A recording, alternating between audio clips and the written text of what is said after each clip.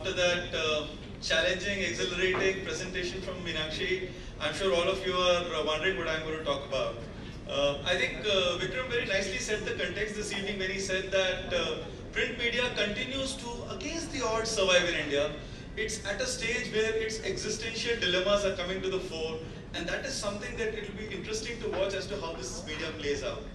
Um, I have a few points to talk about print media, but I have to talk about a few points about media in general. Um, during the course of this presentation, a lot of you will continue to be victims of what is called as continuous partial attention, which essentially means that all of you will be checking your mails, checking your WhatsApps, creating your Facebook status, and some of those are nice enough to talk about the fact that you're in the Ad Club Media Review We'll actually do a location uh, identifier and say that you know you're having a great time here, or you're actually getting to hear something new. How do I get your attention back?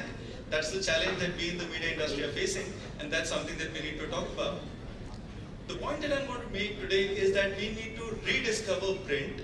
We all know print. We all know that it's a legacy medium. We, it has its challenges. It has its plus points. It is something that you wake up with every morning, read it. It has a sensory feel. You get to touch the paper. You get to see the images. All of those are strong rational reasons why anybody in its rational senses would continue to access this medium, continue to see it as a credible medium, and would continue to hold the audience's interest. So how do we make sure that print continues to remain relevant in the tackling of the continuous partial attention? As Meenakshi rightly pointed out, the confusion is not just in the minds of the advertisers or in the minds of the agencies. The confusion is also in the mind of the audiences. The sheer proliferation of the number of devices and the information content that is available to us today means that we are bombarded and bamboozled by content through the day. It is up to us to kind of sift that, arrive at a stacking order, and look at information that has relevance for us. You know, what with social media messaging, messages from your boss, including your emails, presentations that you have to deliver, work that you have to do, clients that you have to meet, your own attention span is completely divided. So as a person who's contributing to the creative process or to the process of media planning, or somebody who's actually viewing it from a consumer standpoint, your mind is really a battlefield amongst various kinds of media companies and media mediums. So how do you do more? There is a clear need to do more. This more does not necessarily mean a quantitative more. The amount of efficiency that media today needs to deliver for media to be consumed in a relevant manner means that we need to do it more efficiently. So again, the conventional wisdom, print is rational. When you advertise in print, you will go to an educated audience that is reading it in the morning. The message is clear, it is right there, he doesn't have to download it. You can read it again and again. There is a clear span of attention that when you get print, uh, you know, it does not get diluted. You are reaching an audience in different parts of the country. And for all the talk of digital taking over all the aspects of print, maybe globally it is true, but in India, given our literacy levels and the way we are growing as an economy, and the aspirations of the people that are becoming newly literate as well as growing in the literacy levels, print continues to remain a very strong medium, right? It is a very relevant medium, it is a very rational medium. The traditional view continues that print is a very rational mode. It does appeal to emotions, but it appeals to the reward quotient. It, it appeals to the engagement quotient, and it uh, you know, appeals to the absorption quotient of a reader's mind. And thereby, if you have to make a solid argument, you go with print. You want to develop people's emotions. You want to make sure that they are, with their heart, thinking about your brand. You go audio-visual. Audio and audio-visual. The more visual, the better it is. And that has been the conventional wisdom all along. So the question really is, print is rational or is it? Is there an opportunity for print to showcase its emotional side, to really bond with the consumers, to, in a small measure, tackle the continuous partial attention challenge that they seem to be having? So in the words of uh, Neo, are we ready to pop the red pill?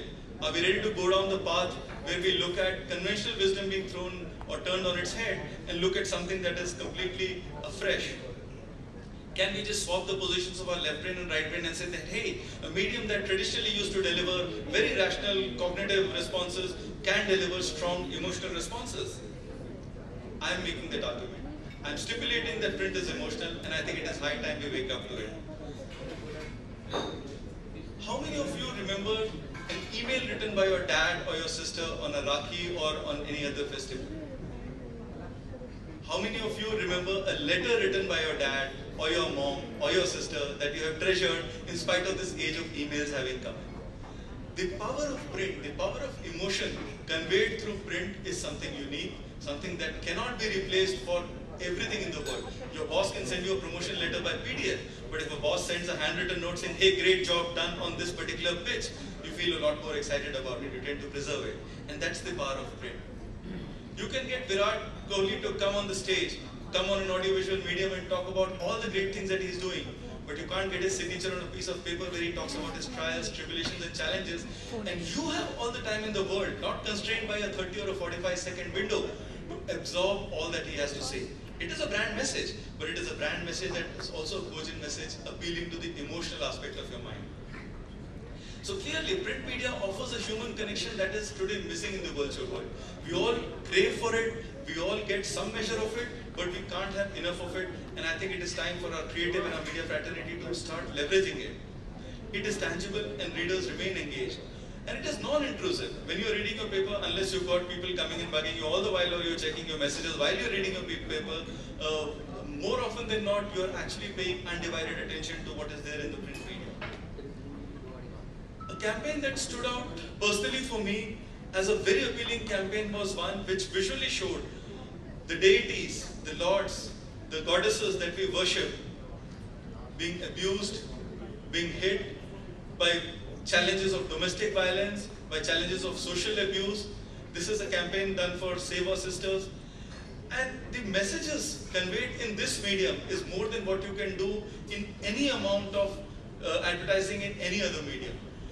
It is up to us to realize the power of creativity, the power of emotion that brings brings print, brings to the fore. That will really make the difference. The spirit of giving. You can talk about all the things that you want to do in terms of the spirit of giving. But when you're talking about the winters, like the way Pratap was describing last year's media review and the fact that you have to put burners in the room for people to, you know, beat the cold and really stay warm. In that kind of a cold temperature, just imagine if you have to give the same amount of, some amount of warmth to people who are laying in the cold. This kind of giving spirit or giving message can be best conveyed on print. Today, the largest issue facing the rural economies in India is farmer suicide. This is a campaign which is a two-year-old campaign. But yesterday's headlines in Times of India spoke about the fact that there is a large number of farmer suicides happening even now, even this day and age. Spite of all the progress that our country has made, in spite of sending a Mars orbit van and our Prime Minister gallivanting all across the world, you have farmers committing suicide every day in this country. Who has to bring out that emotional connect of the challenge that those people are making? How many audiovisual mediums are really covering the challenge that the print medium uh, is bringing out in terms of farmer suicide? So print strengths of touch and permanence are more important today than they were ever before. Because it's a no-touch, no personal contact word. You have friends sitting next to each other talking to each other on WhatsApp. What kind of a personal touch is that? Is that what we want to do? Is that how we want to you know, deal with uh, our friends, relatives, our siblings, our family members? Even Google, and I know Purita and Rita is going to come up and make a very nice presentation a little while later, has actually spoken about the fact that we need a breathing space to move away from the digital onslaught and look at printed word to really have some peace of mind, to intellectualize, to think about issues of the day, which is through the Google uh, Think Quarterly magazine, which is available in print as well as in digital for those who only insist on consuming digital. But it is a print magazine that is delivered to a large number of advertisers. And Google being the open company that it is, very proudly puts it on the website and you know anybody who's interested in the content can read it. And it has some very intellectually stimulating content, not the content that you would generally get from a sales or a marketing pitch of a, of a large media company. Print remains distinct. It has certain unique uh, properties that as media marketers, all of us need to bear in mind. Even the largest of digital companies, when it wants to tell its stakeholders, its shareholders, what it has done last year, it prints a balance sheet, it prints an annual report, and it conveys all the messages through visual imagery, through words, of what it has done. Uh, I see a lot of young people in the room as well. For a lot of you, the expression of individuality is the tattooing, the inking on your body that conveys a message as to who you are. You can't take print away. You can't have a status of your you know, WhatsApp showing your digital you. It is not as individual as having something inked on your body. How would you respond to a job ad like this? How would you respond to a technology company like this? Now, this is a company that purely leverages digital to do buying, selling, and do all the commerce that it does. And yet, when it comes to conveying a message in colors with permanency, it chooses print to go ahead and make its message visible. Because with print, you get non-partial attention. The concept of continuous partial attention does not exist when you are reading print for whatever it is span of time that you're reading. You may get interrupted, but you may always come back to the content that you're reading. It allows for unlimited exposure. The exposure does not get limited by the fact that you're running out of 3G data limit or you're running out of battery juice because it's right there, it's always there. And you get an audience selectivity. You can actually slice the audience that you're sending your message to and be very sure of the audience to which you're delivering this message. So print will always have a place at the table and nothing beats the feel of a print feed. And I also argue that print is relevant and will continue to remain relevant. Right or wrong. How powerful a message is this? It is not just about selling a pen, it is talking about the power of journalism and its ability to make changes in society. So print is noticeable, it can be read, reread and retained. And obviously there are a hundred more arguments which talks about how print is not just rational but strongly emotional and needs to be at the table in the mindset and in the consideration set of everybody who's looking at media all of us have heard about this great advertising campaign uh, for Dove when they spoke about real beauty, inner beauty. I think in every uh, uh, award uh, ceremony, in every conference it gets spoken about. Not many people have noticed how they leveraged it in print and I wanted to bring that to your attention.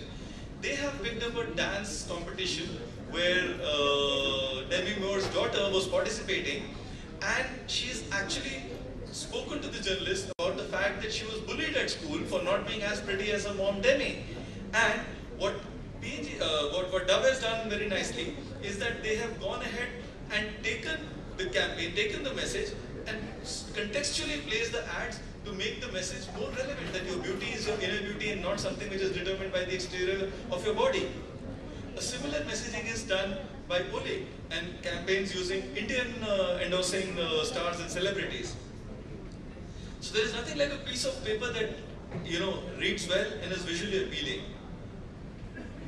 very nice images, but they also evoke the sense of the audio quality that you will get when you use the headphones that are on sale. One life, many lives, a very simple message conveyed, but saying that you are far beyond the car that you drive, that your aspirations are far beyond what is displayed or uh, you know shown in print.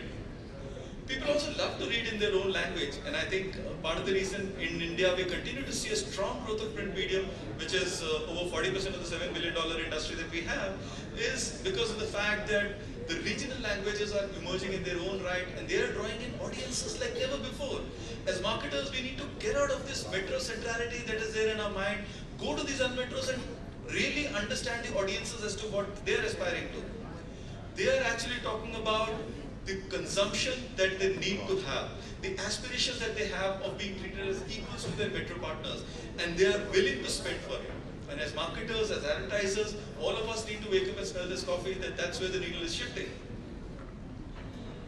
It is said that powerful pictures stay long in your mind with just two words and then the image comes to your mind and then the idea works. It's a lot of words put together. So let me just tell you what I'm trying to say here.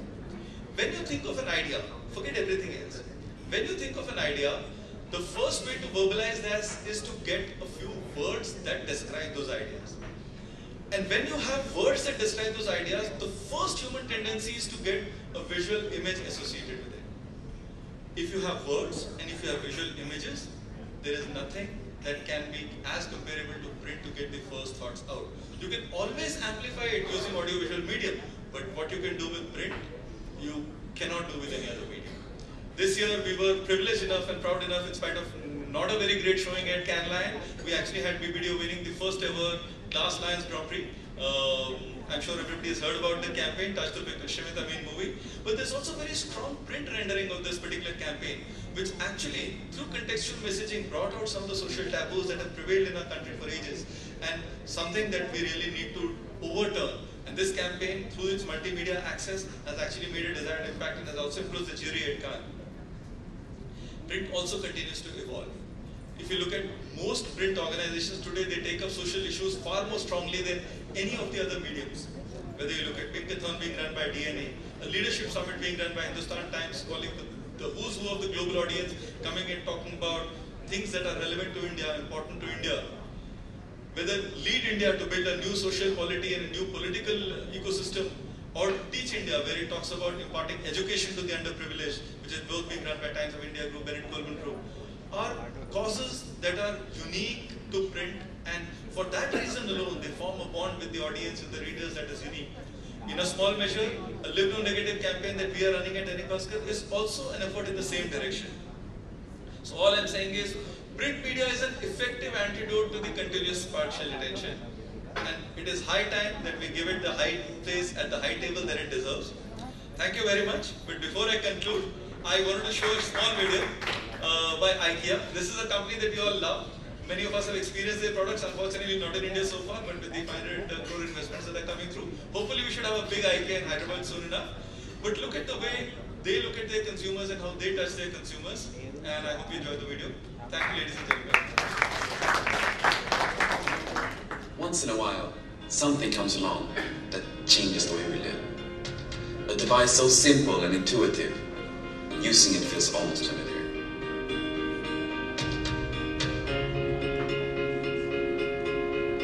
Introducing the 2015 IKEA catalog. It's not a digital book or an e-book.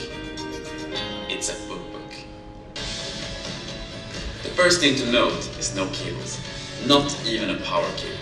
The 2015 IKEA catalog comes fully charged and the battery life is eternal. The interface is 7.5 by 8 inches, but can expand to 15 by 8 inches. The navigation is based on tactile touch technology which you can actually feel. Content comes pre-installed via 328 high-definition pages of inspiring and furnishing ideas. To start browsing, simply touch and drag. Right to left to move forwards, left to right to move backwards. Notice something else? That's right, no lag. Each crystal clear page loads instantaneously, no matter how fast you scroll. If you want to get a quick overview, just hold it in the palm of your hand and using just your thumb, speed browse to content. If you find something you want to save for later, you can simply bookmark it. And even if you close the application, you can easily find the bookmark again. Amazing. What about multiple users? For that, we've introduced a simple color coding system to avoid confusion. If you want to share a particularly inspiring item, you literally share it. Another special feature is password protection, which is voice activated. Excuse me, that's mine. At IKEA, we feel that technology that is life enhancing should be in the hands of everyone. So the 2015 IKEA catalog is free. You can download one from your mailbox, the one you open with the key. If it's not there, try refresh the next day. Or you can upload yourself to the IKEA store and find one there. Experience the power of a book.